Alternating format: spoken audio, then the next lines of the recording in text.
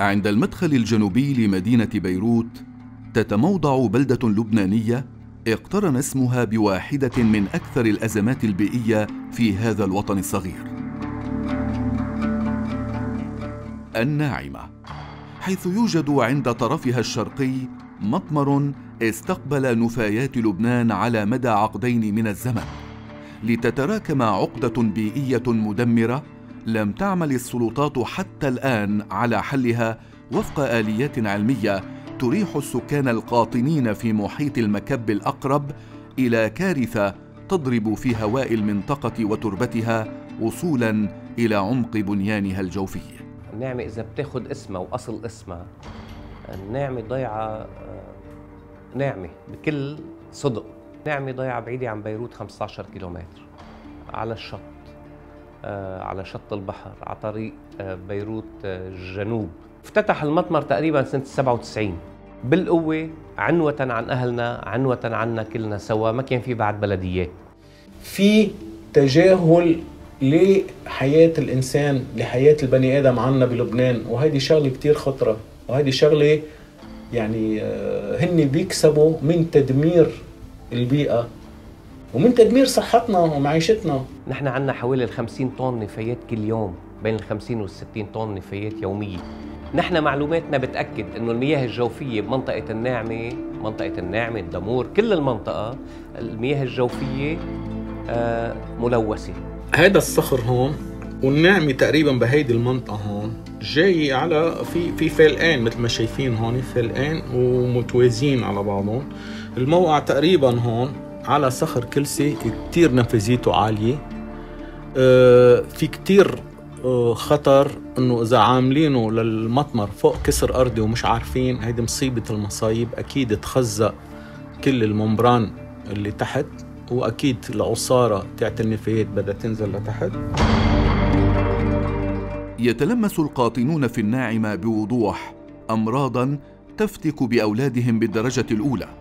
لكونهم الفئة العمرية الأكثر تأثرا بآفة الغازات المنبعثة من مخلفات المطمر.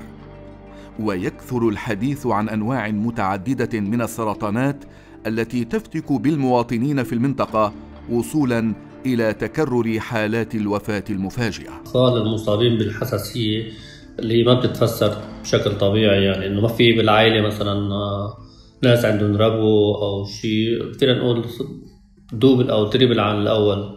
ما بين حساسية صدر أو حساسية آه، أنف. كان ابني عمره تقريبا شي تسعة شهور. صرت فجأة ألاقي فيه ورم بجسمه وأحمرار كتير قوي. اخذته عند الدكتور فالدكتور خبرني إنه هيدي آه، من وراء العقص لأنه العقص حامل كتير زبالة آه، من وراء النفايات اللي صارت تتراكم والريحة اللي كانت تطلع. وفي حشرات الطائرة المتنقلة اللي عم تنقل السموم بالهواء وبدها توصل عند البشر. وتعصه وتعمل ردة فعل شوي مبالغة كبيرة يعني بين ورم وحكة ورعية وحساسية. وعلى طول كانوا العقس يعقصوه بمطارح كتير مزعجة مثل هون يورم حتى هيدي بعدها معلمة لأنه بضل يحك على طول وما كانت تروح أبدا من وجهه.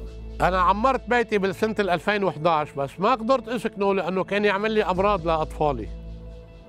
يعني مرة طالعين البنات على المدرسة فتحنا البوابة جاي البوسطة زمرت تيطلعوا البنات. طلعت ريحة قوية.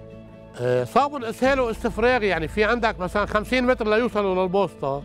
إسهال واستفراغ رجعوا على البيت البنات. نطلنا للبوسطة. نطلنا الباص 10 دقايق.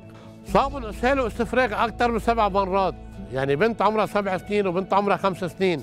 إسهال واستفراغ سبع مرات. راحت ميت الجسم بالأخير. خلينا البوسطة تفل بعد ربع ساعة. طلعتهم على المستشفى. هنو طالعين على المستشفى البنت الصغيرة اللي عمرها خمس سنين؟ آه، غابت عن الوعي وارتخت كلها سوا وطلع الزبد على تمها صار صارت المرض تصرخ بال بالشيب معي. ما صدقنا كيف وصلنا على المستشفى. 24 ساعة هنو يعطون أمصال يرجعوا يستفرغون. أمصال يستفرغون. راحت ميت الجسم. عندنا حالات أمراض سرطانية يعني تعدت ال 50 و 60 حالة بفترة زمنية معينة وبعدنا لحد هلأ عم نوقع بمشاكل.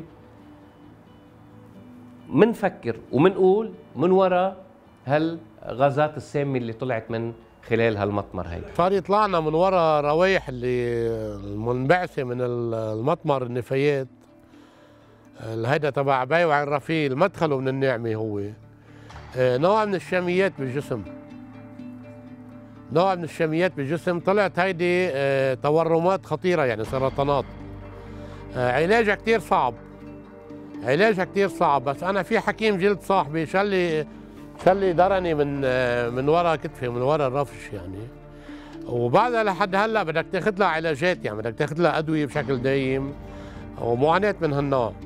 ليست الأزمة وليدة عمل أهمل من قبل السلطات بل إن تأسيس المطمر لم يراعي الحد الأدنى من معايير صحية كان يفترض أن تدخل في صلب بناء منشآته التي بدأت ببث تلوثها الحاد على مدى عشرين عاما من دون مراعاة التطور العمراني والبشري في المحيط.